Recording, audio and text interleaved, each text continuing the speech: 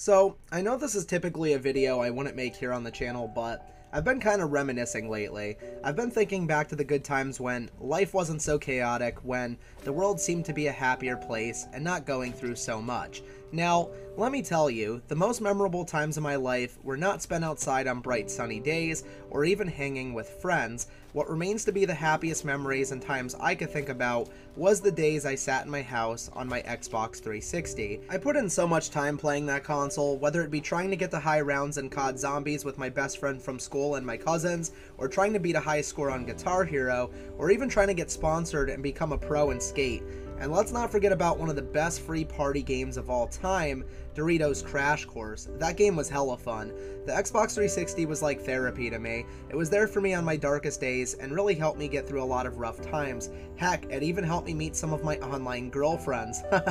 I was young, okay? Leave me alone.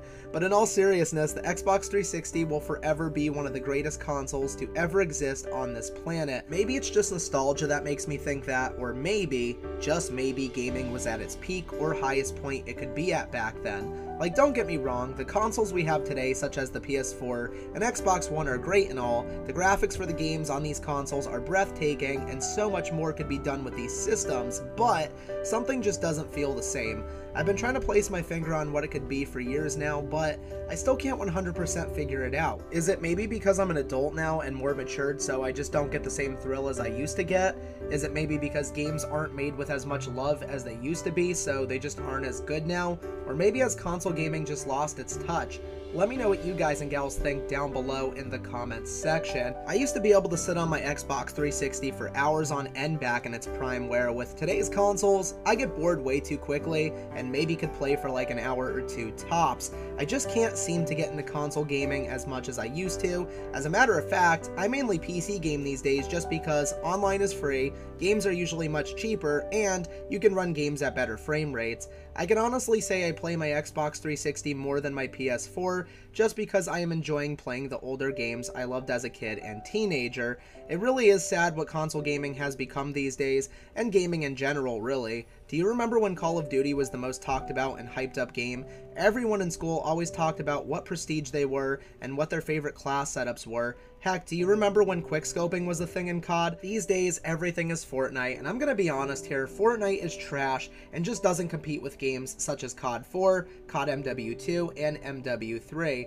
I know a lot of kids in this generation will hate on me for saying that, but the truth needed to be said. If you grew up during the times of the 360, you would know just truly how much better gaming was, and COD in general. I actually feel sorry for anyone who wasn't gaming during these times, just because of how amazing it was. It seemed like people were more vocal back then, and also competitive too, and let's be real, those weird messages you would get on your 360 of people making random noises into their microphones were the best, and who could forget about the messages where people would pretend they worked for Microsoft and were going to get you banned just because you beat them in an online multiplayer match. I couldn't even tell you how many of those messages I got because there was just so many, and they made me laugh every single time.